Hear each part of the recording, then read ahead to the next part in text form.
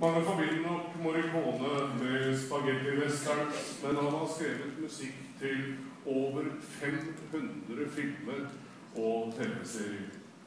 En av de vakreste melodiene han står bak, er Gabriels obo fra filmen The Mission fra 1986. Og tilbake som solist på fiolin har vi igjen Ragi. Vær så god.